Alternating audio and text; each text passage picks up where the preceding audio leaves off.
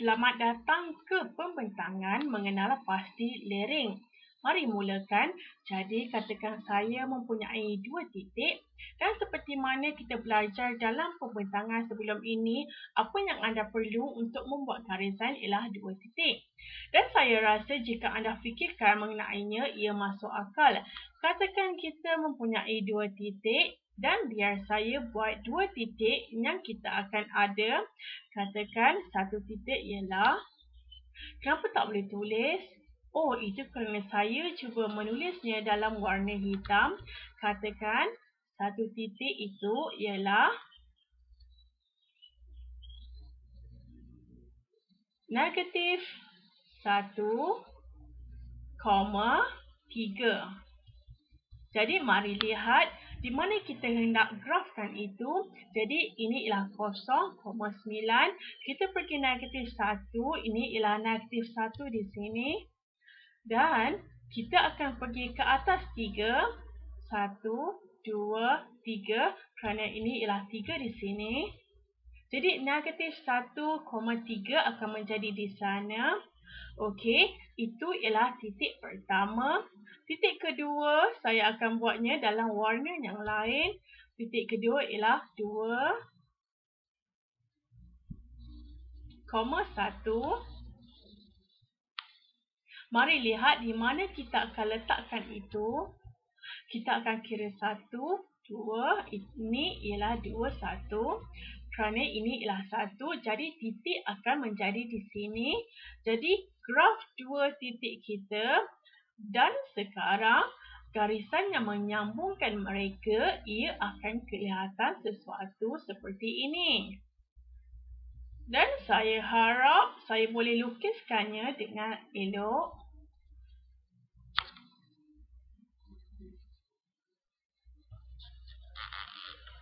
melalui titik itu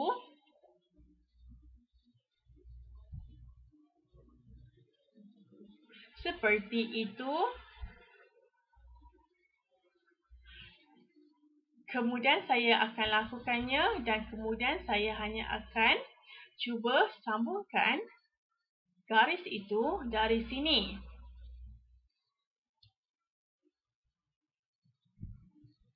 itu mungkin teknik yang paling bagus. Mari lihat garis itu. Jadi apa yang kita mahu buat dalam pembentangan ini ialah mengenal pasti. Saya rasa saya akan membantu anda. Jadi ada beberapa cara untuk melihat lereng. Saya rasa anda tahu bahawa lereng ialah kecondongan garisan ini.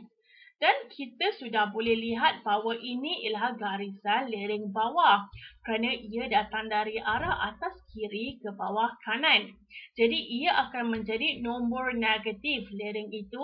Jadi anda terus tahu itu. Dan kita akan mempunyai apa yang kita akan buat ialah mengenal pasti bagaimana hendak mengenal pasti lereng. Jadi lereng, biar saya tulis ini lereng dan selalunya mereka akan gunakan pemboleh ubah M untuk lereng dan saya tidak tahu kenapa kerana M jelaslah bukan bermaksud lereng. Itu bersamaan dengan ada beberapa benda anda mungkin dengar perubahan di Y per perubahan di X. Segitiga itu yang dipanggil delta hanyalah huruf Greek yang bermaksud perubahan perubahan Y per perubahan X dan itu juga bersamaan dengan menaik per bergerak. Dan saya akan terangkan apa makna semua ini sekejap lagi. Jadi mari mulakan di salah satu titik di sini. Mari mulakan di titik hijau di sini, negatif 1, 3. Jadi berapa banyak kita perlu naik dan berapa banyak kita perlu gerak untuk pergi ke titik kedua 2,1. Jadi mari lakukan naik dahulu. Kita perlu bergerak ke negatif 2. Negatif 2. Jadi itulah menaik. Jadi menaik bersamaan dengan negatif 2. Kerana kita perlu ke bawah 2 untuk mendapatkan dy yang sama dengan titik kuning di sini. Dan kemudian kita perlu bergerak di sana. Kita perlu bergerak tambah 3. Jadi naik dibahagikan dengan gerak ialah negatif 2 per 3. Bagaimana kita hendak lakukannya jika kita tidak mempunyai graf yang cantik di sini untuk melukis? Apa yang kita boleh lakukan ialah kita boleh katakan mari ambil ini sebagai titik permulaan perubahan dy perubahan dy per perubahan dx ialah bersamaan dengan kita ambil titik y yang pertama iaitu 3 dan kita tolak titik Y yang kedua iaitu 1. Anda nampak itu? Kita hanya ambil 3 tolak 1. Jadi itulah pertukaran dy dan kita ambil titik pertama X.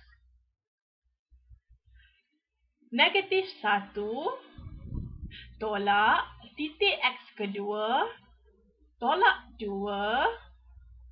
Jadi 3 tolak 1 ialah 2 dan negatif 1 tolak 2 bersamaan dengan negatif 3. Jadi perkara yang sama kita dapat negatif 2 per 3.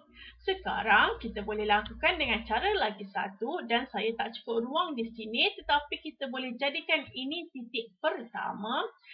Jika kita jadikan itu titik pertama, kemudian perubahan dy akan menjadi perubahan dy akan menjadi y ini. Satu tolak tiga per perubahan dx akan menjadi dua tolak negatif satu. Satu tolak tiga ialah negatif dua. Dan dua tolak negatif satu ialah tiga. Jadi sekali lagi kita dapat 2 per 3. Jadi tak kisahlah kita mulakan dengan titik yang mana satu selagi jika kita guna Y dalam koordinat ini dahulu. Jadi kita perlu guna X dalam koordinat itu dahulu. Mari selesaikan lebih banyak masalah. Sebenarnya saya hanya akan lakukan beberapa supaya anda lihat algebranya tanpa grafkan ia dahulu. Jadi katakan saya ingin mengenal pasti lereng di antara titik 5,2 dan 3,5. Mari ambil ini sebagai titik permulaan kita. Jadi perubahan dy per perubahan dx atau menaik per bergerak. Perubahan dy akan menjadi 5 ini. 5 tolak 2 ini per 3 ini tolak 5 ini dan kita dapat 3.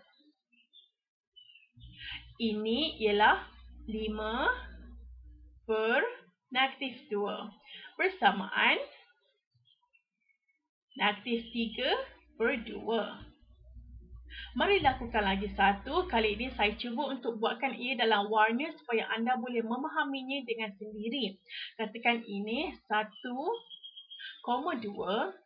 Itu ialah titik pertama dan kemudian titik kedua ialah empat koma tiga. Jadi sekali lagi kita katakan lereng ialah bersamaan dengan perubahan dy lereng ialah bersamaan perubahan dy per perubahan dx. dy kita ambil y yang pertama, mari mulakan di sini dan kita memanggil itu y1. Jadi yang itu ialah 3